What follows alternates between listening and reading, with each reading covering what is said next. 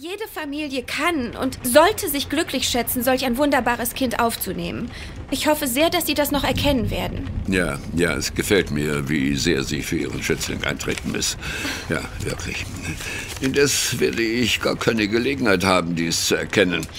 Denn mein Zweig der Familie hat den Stammsitz bereits vor gut 50 Jahren verlassen. Aber ich dachte... Ja, Sie dachten wahrscheinlich, dass Miss Rosamond nun dort aufwachsen wird, wo auch bereits Ihre Mutter ihre Kindheit verbracht hat. Ja, genau. Und dies war mir eine herzerwärmende Vorstellung in dieser traurigen Zeit. Ja, das ist nur zu verständlich. Es tut mir leid, Sie, äh, was das betrifft, jedoch enttäuschen zu müssen. Darf ich fragen, wer dort lebt? Natürlich dürfen Sie das. Eine alte Tante von mir mit einigen wenigen Bediensteten. Aha. Es ist landschaftlich äh, sehr schön dort. Ein bisschen karg vielleicht, besonders die Hochebene oberhalb der Nadelwaldgrenze. Im Winter ist es dort recht kalt.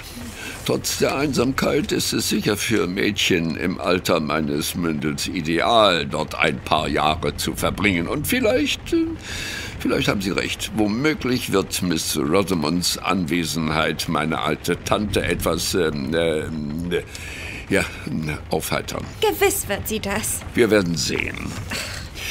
Mein Sekretär Mr. Henry wird Sie beide morgen in meiner Kutsche zum Familiensitz begleiten.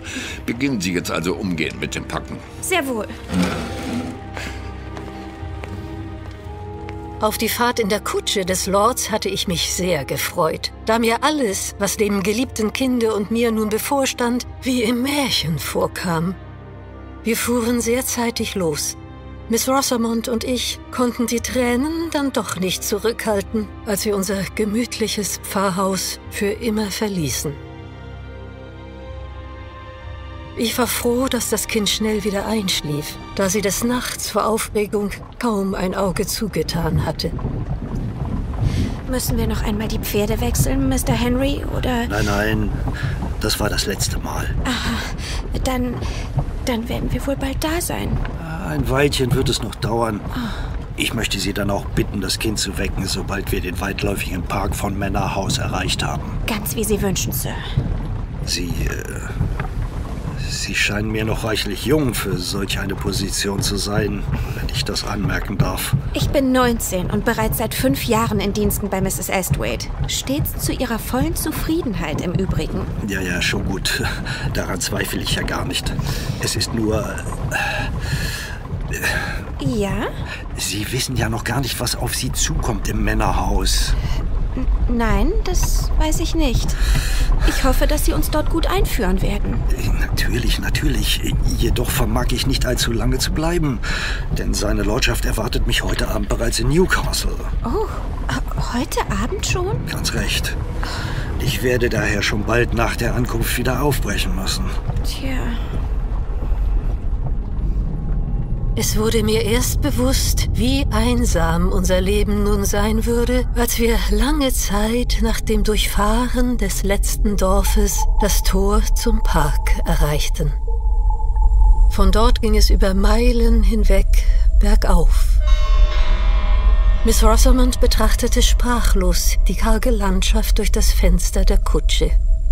Wir sahen knorrige alte Bäume, und riesige Felsblöcke, die überall auf den Hängen aus den Gräsern und Moosen hervorlugten. Nach einer mühsamen Fahrt auf den ersten Absatz der Hochebene hinauf sahen wir endlich das gewaltig große und weit verzweigte Männerhaus. Düster und dunkel erhob es sich vor dem finalen Aufstieg auf das Hochplateau, wo es keine Bäume mehr gab. Ich gebe zu, uns war nun sehr beklommen zumute. Dieses Gefühl verstärkte sich noch, als uns Mr. Henry in die große, dunkle Halle des Anwesens führte. Ich fürchte mich, Esther. Bleib einfach an meiner Hand. Mhm. Was, was ist denn das? Wie sonderbar. Gewaltige Orgel. Ja, eine Orgel. Ich glaube, der alte Lord, der Vater von Miss Furnival, hat sie einbauen lassen. Ja, So.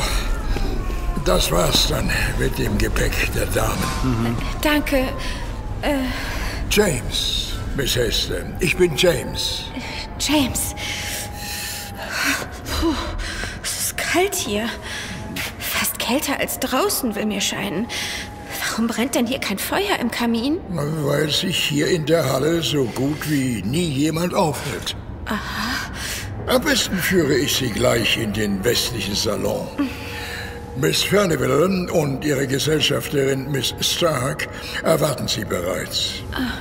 Und dort brennt selbstverständlich auch ein hübsches Feuerchen im Kamin. Gut, ich bin einverstanden. Ich darf mich dann verabschieden. Oh, Sie wollen schon fahren, Mr. Henry? Ich fürchte, ich muss. Alles Gute für Sie. Danke. Und auch für dich, kleine Miss. Danke, Mr. Henry. äh, äh, äh, hast du noch was gesagt, kleine Miss? Ich habe Danke gesagt. Ich, äh, ich dachte, ich hätte noch etwas anderes gehört. Hm, äh, wie dem auch sei. Nun also leben Sie wohl.